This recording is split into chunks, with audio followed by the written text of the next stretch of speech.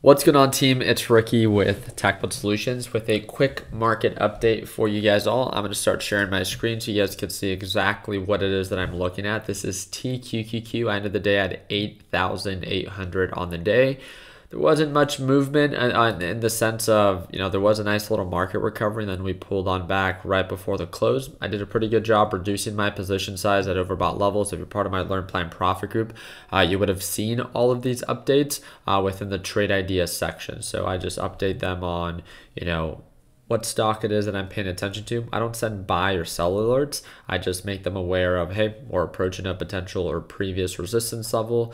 Maybe it's not a bad idea to reduce position size or, you know, just prepare for potential pullback. So uh, TQQQ didn't trade too bad. One of the things that we're going to be talking about is the CPI data report that's going to be released June 10th, which is this Friday. It's viewed as the inflation report. So um, I wanted to ask you guys, I talked about it a little bit yesterday.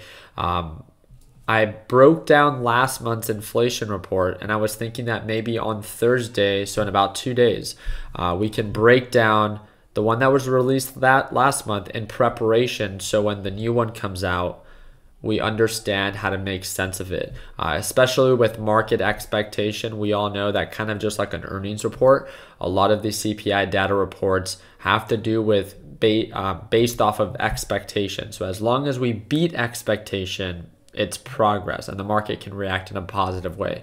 If we don't beat expectation, then just like when earnings, you know, reports fine earnings, but then bad guidance, that is when we can get into trouble. So Nasdaq, as of right now, during the aftermarket trading session, I mean, it's really only been two hours for the after uh, or aftermarket aftermarket hours has closed.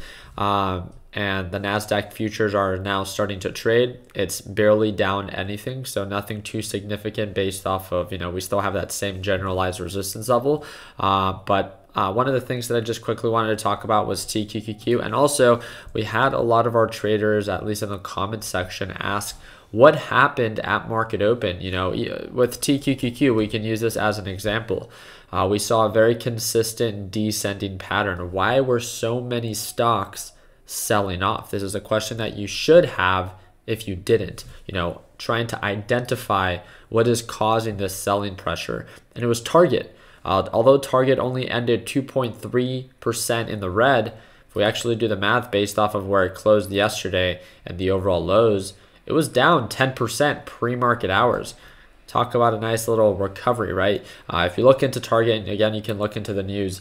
Um, they reported um, again, just really bad expectations uh, when it comes down to revenue wise and profit wise for their up and coming earnings reports. So, again, just really setting low expectations, which of course gets factored in instantly into the stock market. So, uh, Again, one of the things that I could have done much better on is I could have reduced my position size back to 5,500 shares. I normally just hold 5,500 shares.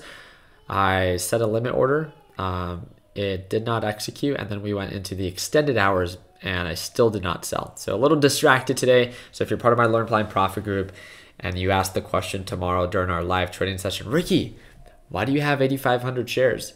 Uh, or 8 8,000 shares, right? 8,000 shares. Um, well, now you know why. So, um, other than that, actually, I want to give a shout out to one of our Learn Plan Profit members. So check this out. This is Miriam. It says, Ricky, today I've uh, or I've been a member of LPP for just a few months, and I've been subscribed to your YouTube channel for the past six months. But I've learned so much in such a short period of time. Thank you for everything that you do. You have changed many people's lives in a positive way, as well as thank you for all that you do. So, Miriam, we appreciate you. Thank you again for the positive uh, feedback. Um, and if you guys ever have any questions, if you've ever wanted to get started, especially when it comes down to trading in the stock market, not only do I trade live every single day with our Learn Plan Profit group, but I work with them every single day. So if you have any questions, if not only do you want to watch someone trade live, but if you want your questions answered not only in real time, but also, you know, it can be through private message. That's the whole point of our Learn Plan Profit group. We have a private group chat, private live trading session every morning at Market Open. You have access to the A to Z video lesson library designed for complete beginners. And yes, you get access to the TechBuds HQ. And it's all only for our LPP members. One time payment, lifetime access.